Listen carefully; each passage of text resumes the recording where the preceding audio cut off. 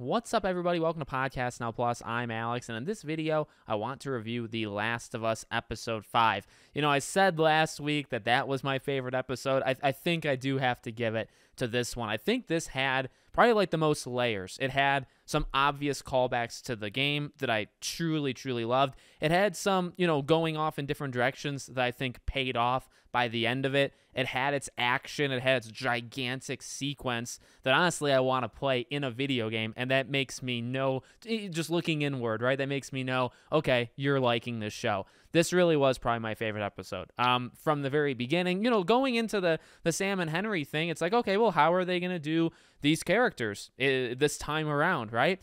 And I think the payoff all happened just as the episode went on. I think it just evolved and went really, really well. Obviously, the outcome wasn't very well, but in terms of what they did with those characters, then even a character like Kathleen, they kind of told the story of, of all of that in in one episode, right? A lot of the mystery that we didn't really know what was going on was kind of taken away in this episode. We found out why Henry is such a target, what he did, what's Kathleen's deal, the fact that she knows that she's bad, right? And that she just, you know, she doesn't care. And a lot of that stuff was some of the going in different directions. You had the throwbacks to Ish, right, in the tunnels. Now, I'm actually going to be making a video on my third channel, the channel I just started uh, about a week ago. I want to talk about the story of Ish because I think he's just an incredible character and incredible story told through notes and told through just kind of uh, everything on the walls and just kind of the environment, right? I think not going too deep into the story of Ish, kind of just leaving it at a couple different rooms that they looked at, and then the one picture, right? The iconic picture that kind of starts it all, I thought was fantastic. They used it as character moments, right? Because we get to learn a little bit about Henry. We get to see, you know, Ellie and Sam, you know, hanging out, like all of that kind of stuff, which I thought was awesome. So what they used it for in the show was really good. And then there's also that that gamer side of you, right? That's like, oh man, like that's that's where it all happened. And again, this really not not too complex, but just a story that was so masterfully told, I think. One of the coolest stories, not told directly at you, but just found through context clues. Uh, having that kind of be in the background of them going through it. And then also having Joel kind of being able to predict uh, how things went wrong with it, right? So you had all that. Then you had really the the, the tower, right? The whole tower scene, which I mean, I thought they did extremely, extremely well. I love some of the character moments of that. Joel does not want to eliminate this guy, and you know he literally just wants the guy to give him the gun, wait an hour, and then you're good and that doesn't happen. But even you know even some of the comedic back and forth between you know Ellie and Joel, Joel basically saying like it's nighttime, the guy sucks, he can't aim,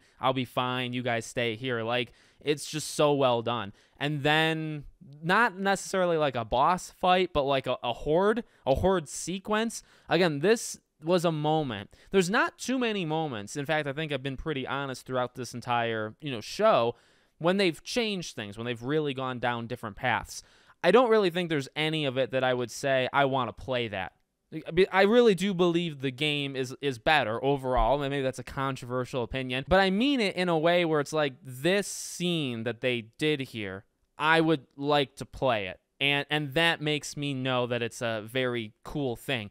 I loved it. I think the visuals was fantastic. So far, eh, there's been no skimping out on, right? Money, budget, all that kind of stuff. Anytime they have the infected, they haven't used them all that much. And maybe there's a part of you that thinks, well, may- maybe they've tried to save the budget here and there so they can kind of. I mean, honestly, I wouldn't doubt it, right? I mean, you only have so much money. You can only do these effects, or even if it's uh, kind of makeup on certain people, right? You can only do that so many times and when they do it, oh my dear God. So just the fighting itself, and then right here, this thing, oh my dear God, incredible. Honestly, incredibly cool sequence the the only, the most unbelievable part, but I guess a video game ish part, like Joel just not running out of ammo, right? He just he's just he's just unloading. But I really love that him literally directing Ellie, saving her, but just very cinematic, a very cinematic scene, but also very tense. Like it's it's nuts, it's going crazy, you know, everywhere around them, and uh, and then of course you got the ending, and I thought it was really well done. I'm not the biggest fan of the change. So the the really big change for the ending was that Sam told Ellie that he was bitten. He or he showed in the game. I believe he shows like the audience. He shows us, right? Because he pulls the his. He, it's the same area, I believe. It's like right above his ankle or whatever, his shin. Um, he shows us but he doesn't show her. And I don't know. I mean, I guess there's a part of me where it's like you know either way, right? So like in the game, you know something's gonna happen. In the in the show, you know something's gonna happen. You could kind of tell in the show the way he was acting. They had, of course, the iconic lines of like, "Are you afraid of anything?" And you know, she's afraid of being alone. Loved it, loved it. Told in a different way, right? But still, I would say just as powerful. And then my wife was actually bringing this up, and this is a, a pretty possible point that could happen they could just be doing this for the show purposes to show the ending even being more powerful, right? And the ending being Joel, you know, choosing Ellie. Well, one thing is I believe there's a little bit of foreshadowing that I don't think you ever got in the game the idea of what Kathleen, right, the villain, what she's telling Henry when they're hiding from her.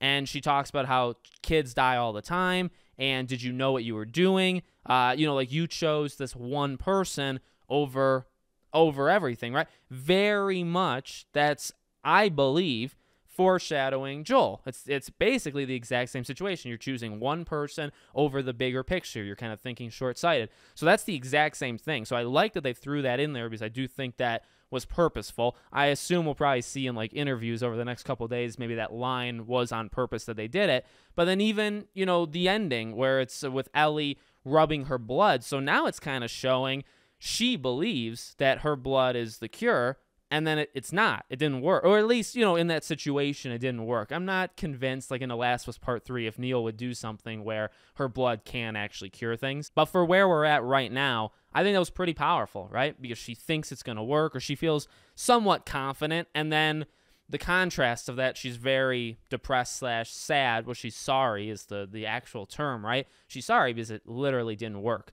And and only she knows that. Now unless she tells joel which i honestly doubt it um, only she'll know that she did try to save somebody with using herself. So when joel eventually picks her at the end he's doing it without the knowledge of whether or not it works even though we may now know you know no it doesn't really work like joel maybe would be more in the right but joel doesn't know that right so i think this is probably going to make later things even more powerful let alone how powerful it was. I think what they did with Sam and Ellie in one episode was extremely good, right? You don't have the benefit of the tunnels of splitting them up. Remember in the game, you basically take the opposite child, right? Or the opposite child swaps. You don't have that.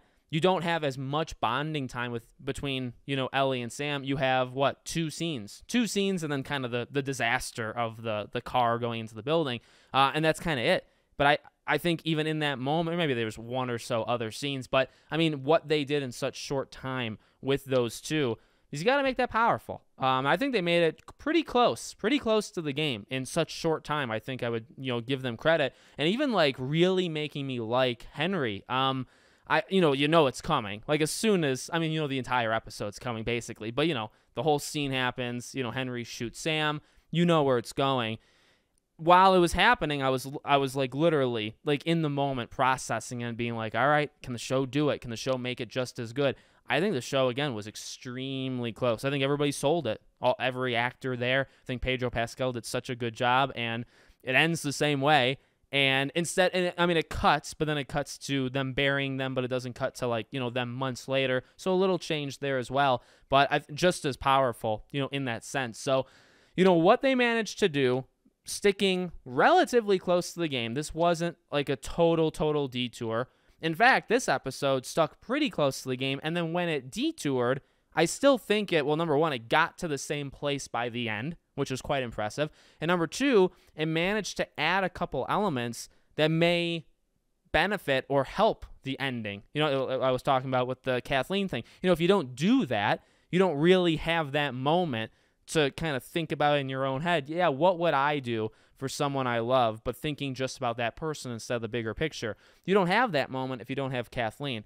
Again, the huge, you know, detour of the infected scene. I mean, that was freaking sweet. Again, I want to play that in a video game. So I think they did a really good job. This episode, it had the character moments, it had layers, it had kind of com- complexity, right? It had all the good dialogue, all the good writing, all that jazz. It had good fight scenes everything about it was a, a really good episode. So I, I do believe this is uh, maybe not the best. I mean, I'm only going based off myself. It was my personal favorite. I think it was probably the best in terms of its layers, let's say. So let me know what you guys think in the comments. Make sure you guys are subscribed, bell icon turned on, and I hope to see you all on the next one.